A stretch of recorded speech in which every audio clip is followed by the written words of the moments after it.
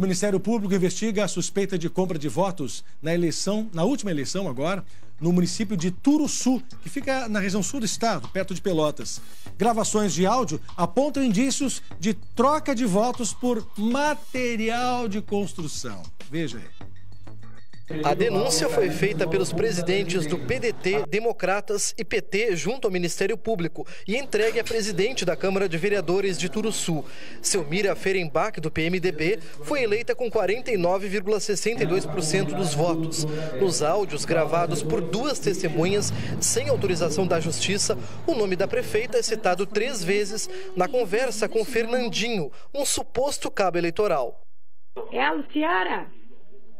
Luciana, agora eu tô te ouvindo. Já pode falar pra Selmira? Porque nós tudo votemos nela aí. Nós estamos esperando o tijolo no ações da mãe.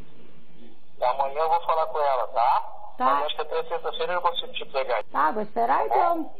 Não, eu já te falei, se ela não te der, eu vou te dar. Um tijolo eu te dou, pra tua mãe e pra tua irmã, tá? Tá bom. Fernandinho seria Rui Fernando Hartwig, hoje motorista da prefeitura e que trabalha na Secretaria de Saúde. Ele não foi localizado pela nossa equipe.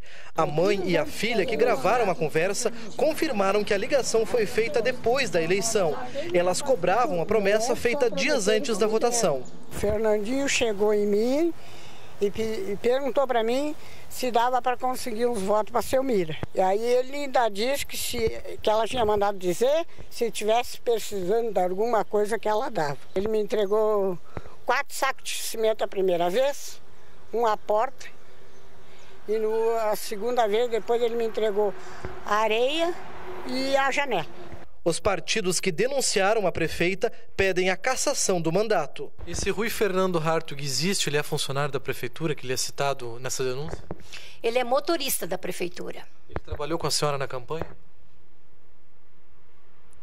Diretamente não, que eu saiba não. Ele, uh, eu acho que ele pode ter trabalhado por conta dele, não sei, mas que eu saiba não. Segundo Selmira, a denúncia é uma vingança política dos partidos que perderam a eleição e vai responsabilizar os envolvidos. Isso é um fake que foi montado falso e politicamente as pessoas perderam as eleições e depois ficam aí querendo justificar de uma forma ou de outra a própria perda das eleições. O meu nome é limpo e com certeza nós vamos tomar todas as providências em relação a esse fato. Eu nunca autorizei ninguém a falar em meu nome.